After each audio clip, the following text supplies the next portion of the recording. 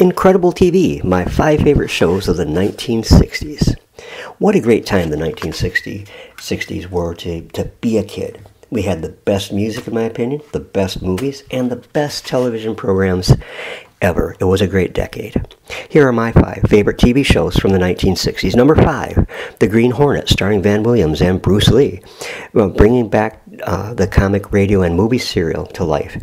Produced by the same team that gave us Adam West as Batman, The Green Hornet was a, a little more low key and sophisticated, but who could resist that amazing car, the Black Beauty, and the uh, karate expertise of Bruce Lee. The Green Hornet and Batman both aired on ABC TV.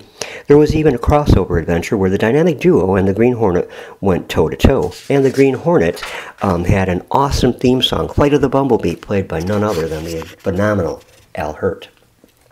Number four is the perennial favorite that everyone still loves today, Fred Gwynne and Yvonne De Carlo in The Munsters. What would be nor- more normal in a suburban neighborhood of the 1960s than uh, well, the fa- a family of uh, living dead from the old world Transylvania. The family consists of Herman Munster, a Frankenstein type monster, the mother, Lily Munster, who is actually Dracula's daughter, as uh, as uh, Grand, Grandpa Munster is just that, the blood sucking dude from old Transylvania. And who could forget Eddie Munster, his werewolf doll and pointy teeth? The weird one of the clan is Marilyn, the niece who is very uh, pretty and normal looking, much of the much to the grief of their family.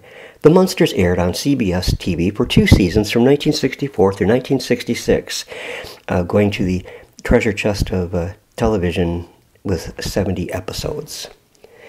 Number three filled the gap for me because another classic uh, began airing on ABC TV, Batman, which became my favorite show at, at that particular time, nighttime, anyways. Who could resist its campy concept and heavy um, use of costumed villains?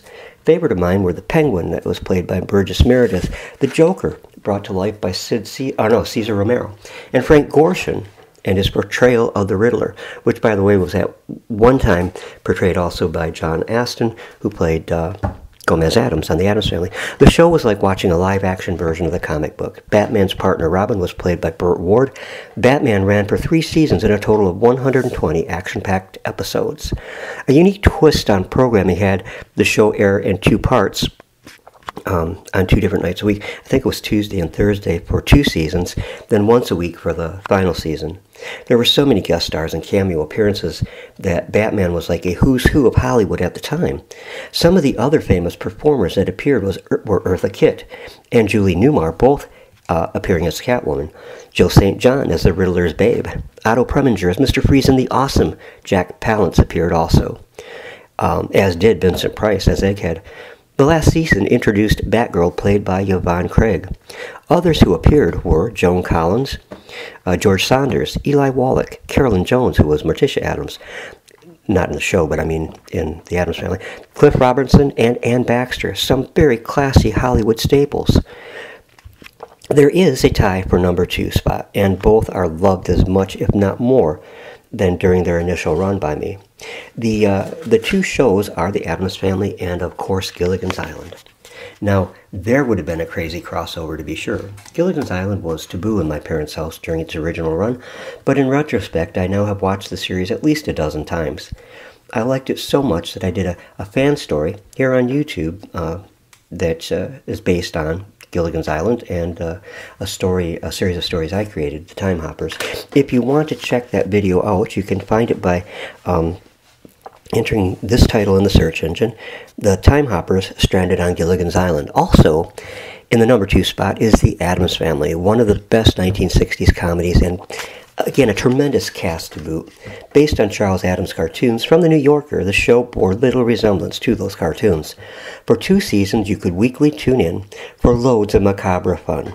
Gomez was masterfully portrayed by John Astin, with lovely vampire type uh, wife played by Carolyn Jones, Uncle Fester played by Jackie Coogan, Lurch by Ted Cassidy, and Grandmama by Blossom Rock, and all seemed to add a surreal and truly eerie element to the program. The Morrison household turned in every, tuned in every week during the uh, re, even during the rerun season of this show. And finally, number one, and it could be none other than ABC TV's gothic horror soap opera Dark Shadows. Debuting in June 1966, the program quickly took the nation by storm with the introduction of 200 year old vampire Barnabas Collins, brilliantly played by Jonathan Frid. The show, which wove its way through many time periods and plagiarizing many of the classics, it ended its run, unfortunately, on my birthday, April 2nd, 1971. I watched it from day one and never missed an episode. I remember making a trip with my dad and mom to Florida to visit my sister and her husband, who was in the Navy down there. And every day we were on the road, Dad found a place to stop so I could watch that day's episode. I guess maybe I was a little bit spoiled. Not a whole lot, just a little bit.